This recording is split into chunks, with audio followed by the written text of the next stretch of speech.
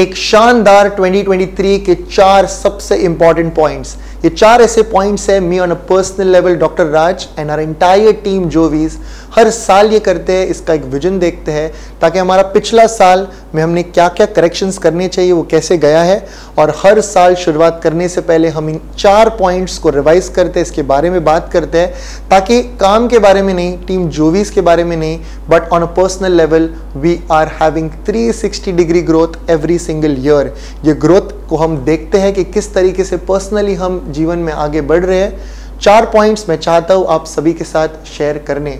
अगर हमारा Y clear है तो हमारा हाउ आसान बन जाता है। अगर हमें पता है कि हमें कहाँ पहुँचना है तो वहाँ के रास्ते ओपन हो जाते हैं। पर पता ही नहीं कि कहाँ पर पहुँचना है तो वहाँ हम उलझने वाले हैं। जो स्टूडेंट्स उलझते हैं people of all age group you know उलझते हैं। विजन पर्पस माइंडसेट क्लियर नहीं होने की वजह से कहीं ना कहीं उलझते हुए हम देखते हैं and then disorders which is a completely different topic but एक शानदार 2023 के चार आसान, मज़ेदार points let's go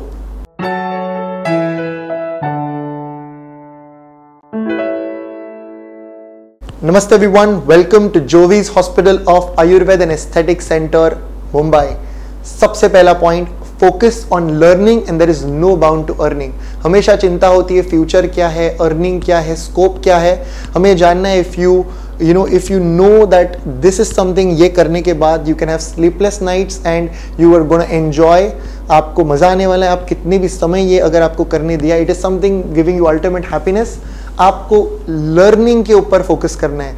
Whether future earning matters doesn't matter that is a different topic but जीवन में आगे बढ़ने के लिए सीखने का एटीट्यूड होना बहुत ज़रूरी है।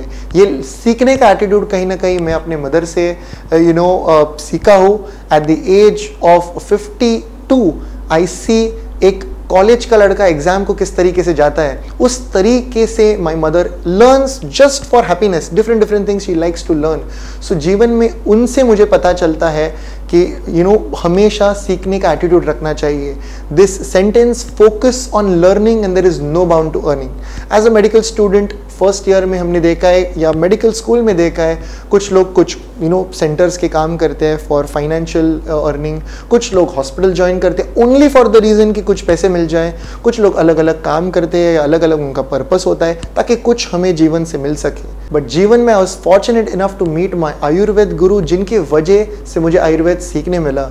गुरुवर्य वैद्य जयंत हरतालकर सर से you know, i was fortunate enough, i had the blessings of lord that i had the opportunity to meet him and to have and you know have an experience of the glories of Ayurveda वो भूख थी कि आयुर्वेद सीखना है और आज भी वो भूख है कि आयुर्वेद ही सीखना है। Travel places learn saw had an experience about the glories of Ayurveda और हमेशा मन में यही रहा है कि किस तरीके से हम सीख सकते हैं। न सिर्फ़ आयुर्वेद बट जो पैशन है जो यू नो टेक्नोलॉजी है जिस तरीके से डेटा मैनेजमेंट है जिस तरीके से स्पीकिंग स्किल्स है हर एक एस्पेक्ट में me as a person how I can develop और get better focus on the learning and there is no bound earning focus on the learning and there is nothing about that अगर आप learning पे focus करते हो एक percent अगर आप better होते हो किसी भी एस्पेक्ट में अगर आप एक परसेंट बेटर होते हो तो आप 365 डिग्री बेटर होते हो हर यू you नो know, एक साल में सो वन परसेंट बेटर ये आपका माइंडसेट होना चाहिए this is something that I personally follow second important point is to know and understand that you must prioritize your own self with regards to exercise physical exercise mental exercise whether it's running jogging weightlifting cardio or you know hypertrophic exercise whether it is the meditation yoga asana pranayam whatever it is one day at a time but regular exercise is something that is going to keep you engaged. Sir rakesh jhunjhunwala said that i had you know all the earnings in life but i could never you know buy my health or i never prioritize my health. In 2023 we've had our past experience. We know what has had happened you know with our own body. So health comes first you come first. So you need to prioritize health this comes from my yesterday's patient, you know, patient had family relation in a funny way with all teams, students, doctors and health consultants to make them laugh and engage. You know, the patient said that, sir, I've got this psoriasis, but if you tell me, अगर आप मुझे बताते हो कि मुझे you know stress नहीं लेना तो मैं स्ट्रेस नहीं लूँगा तो मैं पैसे नहीं कमा सकता और मैं पैसे नहीं कमा सकता तो मैं आपकी फ़ीस भी नहीं दे सकता। सो so, uh, मैं स्ट्रेस नहीं ले सकता ऐसा मुझे कहना ही नहीं है ऐसा पॉसिबल ही नहीं है। So this video is to tell you that आगे आपको इस माइंडसेट से नहीं जाना। आपका पोटेंशियल है स्ट्रेस को मैनेज करना। थॉट्स आने देना थॉट्स जाने देना थॉट्स को पकड़ना नहीं। और प्रायोरिटाइज करना आपकी हेल्थ को आपके एक्सरसाइज को। First is you there's no one above you. So first is you. Exercise, ये आपके लिए important है. That's one point. Third very important point जो मुझे share करना है is be a giver in life.